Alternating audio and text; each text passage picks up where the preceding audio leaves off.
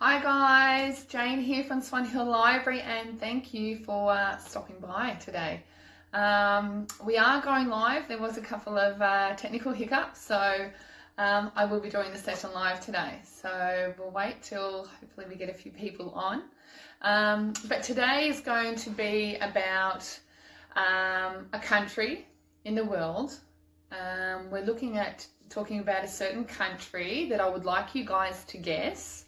Um, this is all part of Harmony Day. Harmony Day was going to be happening tomorrow in Swan Hill, um, but due to everything happening, um, everyone's decided to have a holiday instead. So we can still go along with our Harmony Day theme, and we'll be talking about a certain country. Um, so we will get started. So I hope you all have got your listening ears on. Can we click our listening ears on? Thank you. Good job. Hey, Emily. Hey, Andrea. Um, hey, Lise. Thank you for watching, everyone. Um, so what we will do is we will start with shaking our hands. Can we loosen up our fingers? Flicking our fingers. Moving around our shoulders. Are we loosening up, everyone? Can we have a bit of a wiggle and a shake? Can we stretch up to the sky? Good job. Can we tap our heads? And this is a tricky one, everyone. Can we tap our heads and rub our tummy at the same time? Not only you guys, but can mum or dad do it at the same time too? It's pretty tricky. Good job though. Okay, can we sit down very still? And we're going to listen because today is a little bit different with story time. It's not like our move and groove where we're jumping around all morning. We need to do a bit more listening and we're going to learn a few facts today. As I said, I'm going to be talking about a certain country in the world. And I'll give you some clues and I wonder if you can guess what it is. Firstly, this country starts with the letter I. It has a it sound. And I know a lot of kids in primary school will learn this language at primary school. And it starts with I, the language. Also, in this country, it's actually shaped in the shape of a boot. So you picture a gum boot. Starts long at the top and then it comes in and then it hooks around at the bottom. Does anyone know yet? Okay, I'll give you some more clues. Now let's talk about the food that they might eat. Uh, one of the foods that they eat a lot is pasta and pizza. Does anyone know what it is? And also they have ice cream like we do, but they give it a different name. It's called gelati. Did I hear you say something? Can you say it again? Italy. That's it. Good job, guys. It is Italy. So today we are going to be talking about Italy. We're going to be doing some counting in Italian. We're going to sing happy birthday in Italian. And we're going to learn some new words. And at the end, we're going to read a book. So I hope you do have your listening ears on. Mum and dad might be able to help you as well, or they might be able to learn something new. Okay, guys, so first of all, we have the Italian flag. These are the colours of the Italian flag. So we have green, white, and red. Very good. I see Andrea knows all about Italian and Italy. And, oh, I better do it the right way. this is a picture of Italy and it has lots of little countries inside it. And if I tip it this way a little bit, can you see the boot? Can you see that it starts up here with the big cuff, comes down and hooks around? It's a bit of a strange shape, but that is Italy, guys. So you can pick that on a map anytime. It's so easy.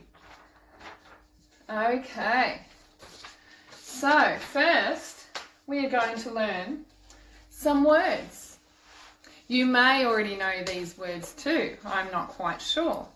And I hope I've drawn them backwards well enough so that you can all see properly. So the first one is how do we say hello in Italian? It is ciao.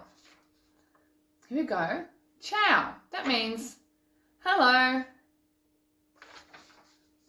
And we have another one saying my name is, and it's mi chiamo and Jane. My name's Jane. So mi chiamo Jane. You can say that to mum or dad. Mi chiamo and your name.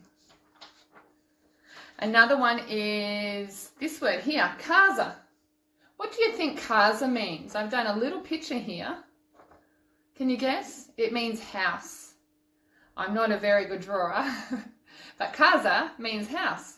So today I'm in my casa, house.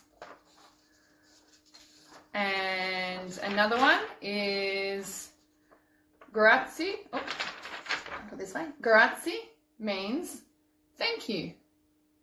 So when someone gives you something or says something nice, you can say grazie, which means thank you. And when we go to sleep at night, instead of saying good night to mum and dad tonight, you might be able to remember this one. It is buona notte. So instead of saying good night, mum, you go in and say buona notte. Can you say that? Buona notte. Good job, guys. You're getting very good very quick.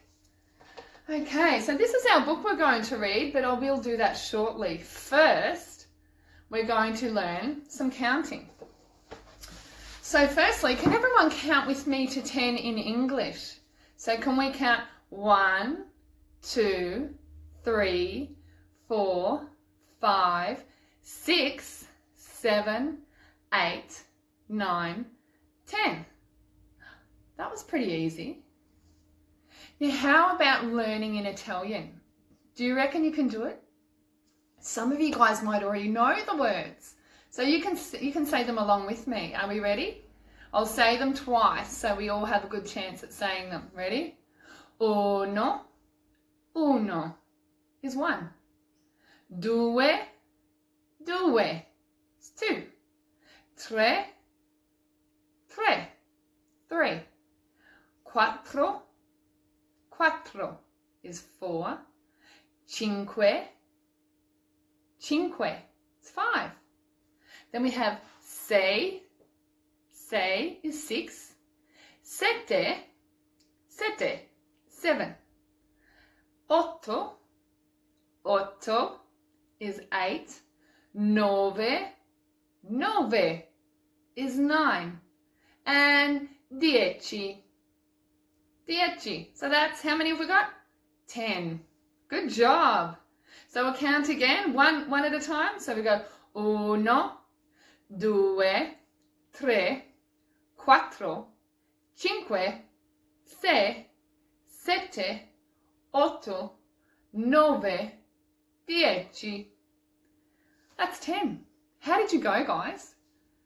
Maybe you can remember the number of how old you are. So if you're three, you would say tre. Or if you're five, you remember the number cinque. Or if you're seven, you remember the number sette. Or if you're ten, you can remember the number dieci. Good job. Now, I wonder if anyone knows anyone who's having a birthday coming up. Anyone know who's having a birthday? And we might be able to sing it at home. So instead of singing happy birthday to you, we're going to do that, but in Italian. So we're actually going to say tanti auguri. Tanti auguri means big wishes in Italian. So are you ready to sing along with me? It has the same tune as Happy Birthday. And all you need to know is tanti auguri a te, which, which means big wishes to you. Okay? So can you try and sing along with me? All right, let's have a go. Tanti auguri a te. Tanti auguri a te. Tanti auguri e Jane. Tanti auguri a te. Did you see what I did then? I added in et Jane, which means happy birthday to Jane. So when we sing happy birthday, we sing happy birthday to you. Happy birthday to you. Happy birthday to Jane. Happy birthday to you. I just did that in Italian and I put my name in there. Maybe this time we'll sing it again and you guys can say e and your name. Are we ready? Let's try it. Or you can put in e mum or e dad. Are we ready? Tanti auguri a te. Tanti auguri a te. Tanti auguri. Add your name. E Jane. Tanti auguri a te. How did you go? Did you go okay? I see that Tyson is turning 12 on Monday.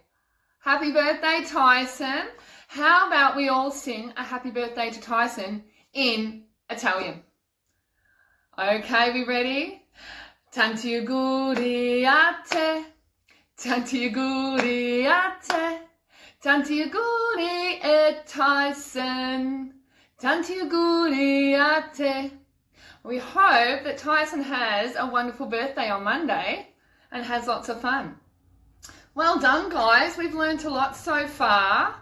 Excellent job with your counting and your happy birthday and learning about all these new words in Italian. Who can remember what hello means in Italian? It starts with a ch. Ciao. So we say hello. And you know what? That's a bit of a tricky word because that actually means goodbye as well. So if you say ciao, and you mean hello. And when you say goodbye, you can just say ciao as well. Okay, so we might get into our story, and after the story, we might do one more lot of counting and going through our words before I do say goodbye. Or should I say ciao? Okay, are we ready with our listening ears on? And ready for our book? So, as I said, today we're reading One World Together by Catherine and Lawrence and Holt. One world together. I want a friend. Who will I choose? I went to Brazil. Hola, they say in Brazil. I met a boy called Paulo. Where does Paulo live? High in the sky. Lives in these big, tall buildings. Paulo's dad has a cool motorbike and he even sits on the back.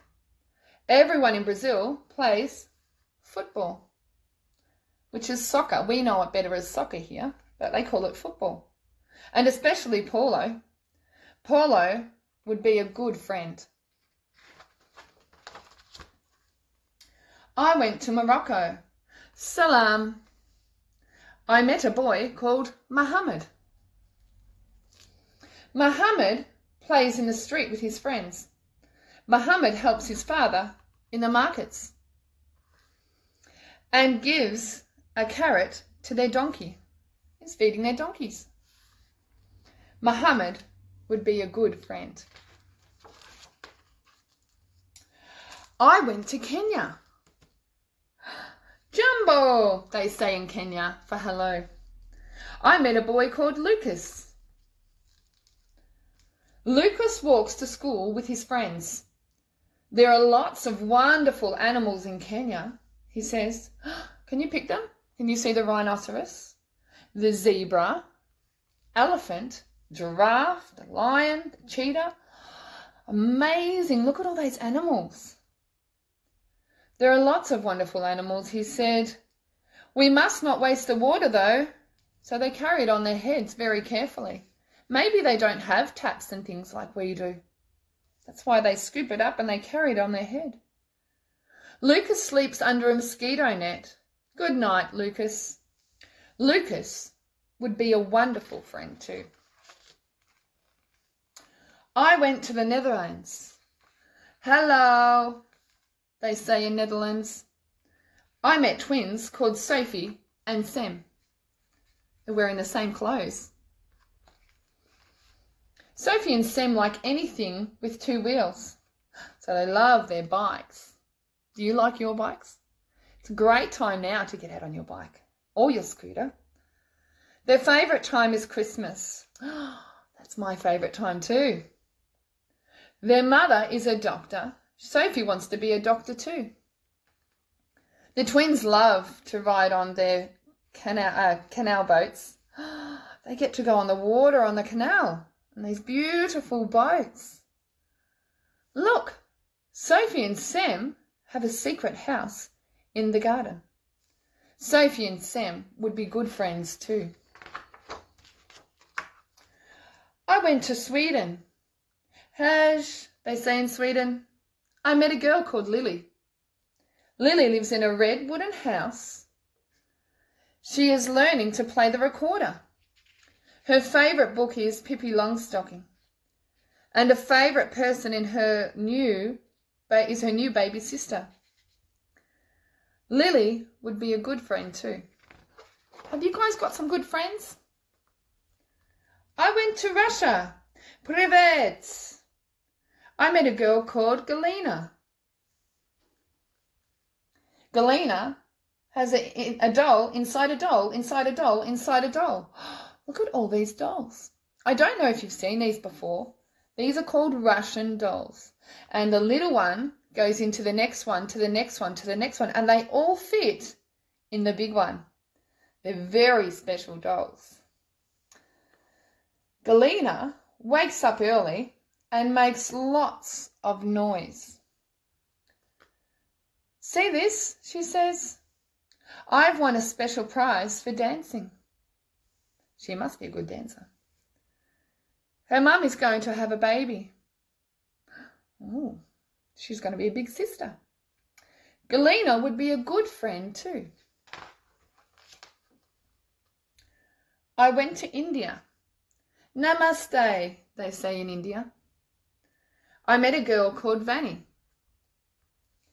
Vanny wants to be a famous, famous singer in a beautiful sari with lots of bracelets. How beautiful is that? Vanny's mother puts oil in her hair to make it beautiful and shining. The rainy season is called the monsoon, says Vanny. It does rain a lot. Vanny would be a good friend too. I went to China. Ni hao. I met a girl called Lee. Lee loves to watch the dragon dance. Oh, look at this dragon. That looks amazing.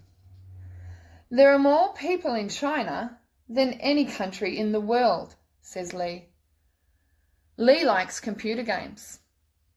Who else likes computer games? Anyone at home like computer games? Hey?